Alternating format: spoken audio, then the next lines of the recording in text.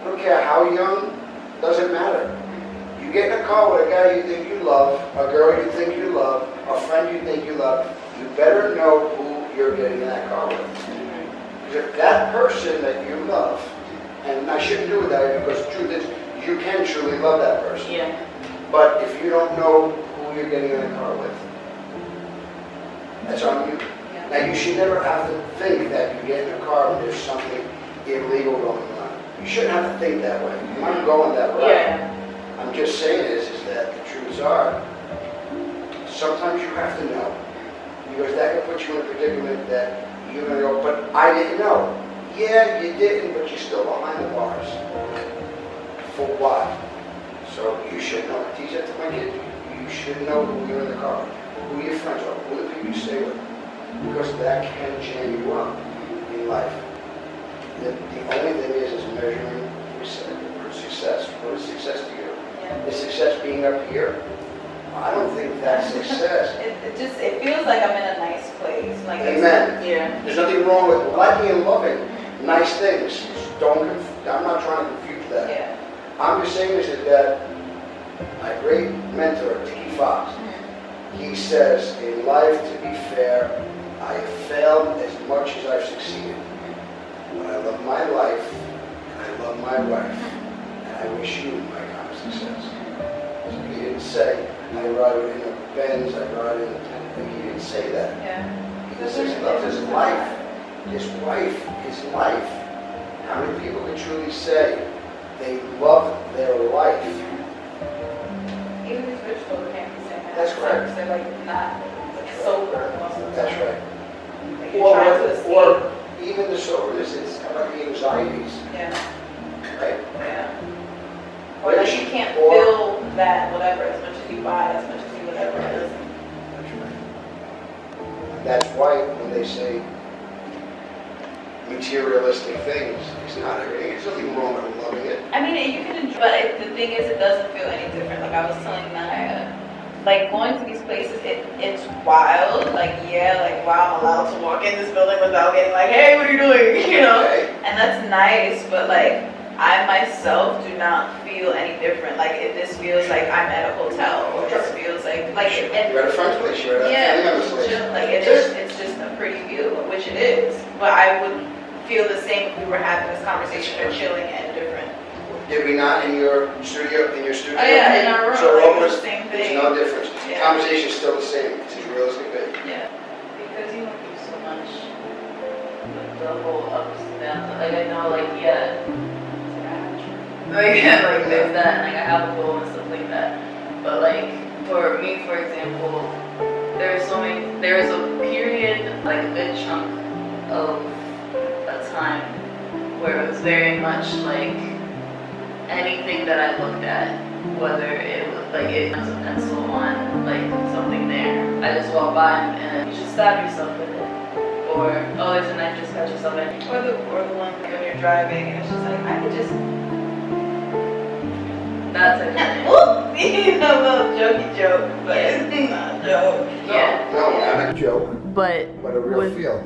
but with those for us or at least for me it was always the one thing for me was just kind of again how we talked earlier like the whole well mom Yeah, That's gonna be devastating.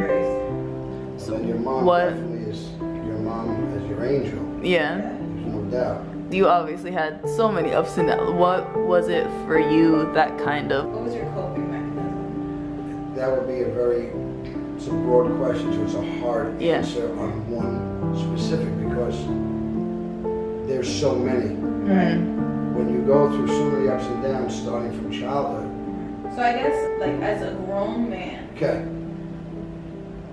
in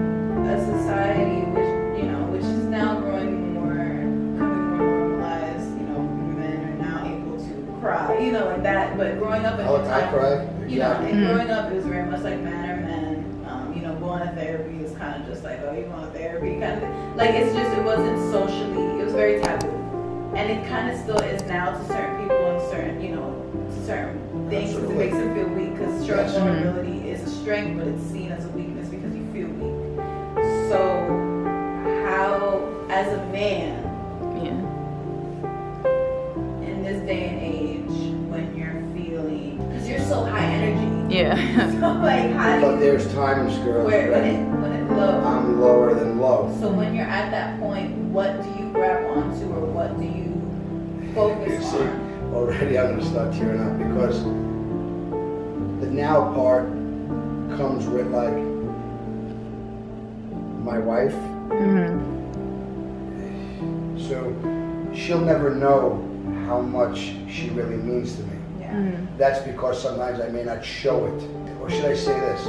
I say stupid stuff sometimes. Mm-hmm. I, I act foolishly. But if she wasn't with me or if she wasn't here, Mhm. I don't know where I'd be. Mhm. So the cocky Chris, Mhm. the the tough ass Chris, when he's feeling a certain way, Mhm. Will think nothing could stop them and, and I got this all, I could do this, but it's not true. See, so I'll say words that I really don't mean and don't have an answer why. Mhm. I don't really know why. So I shout out a word, I don't mean what I'm saying, Mhm. but I said it. Mhm. So it's like there's Chris and there's the other guy. And I don't like the other guy, Mhm. but I know the other guy is still there. Mhm. Yeah. Okay, so I admit that. I don't like the other guy. Because The other guy in sense of what? At he, he, he could just say, act a certain way, feel a certain way. He's masking, he's faking. right. And so you're saying this in account Get below the belt, Yeah. say things, um, say things that I don't mean. That's the part about myself that I've always hated. And I don't know why or where it comes from. I do know that it comes from a childhood, but I don't want to be that person that blames it on my mother and my father. Because now I'm 50 years old, so I don't want to. I don't want to blame. How about that? one? Yeah. I'm tired of believing it's somebody else's fault in that respect. Although, but in the back of my mind, when I'm doing things, when I've acted out, when I've said things, there's a reason where it comes from. But I'm tired of saying, "Oh, it was my mother, oh, it was my father. He left and my mother." But it's time to now try to find that new spot. And my wife, my daughters, as soon as I look at them, I smile. So I know there's a happy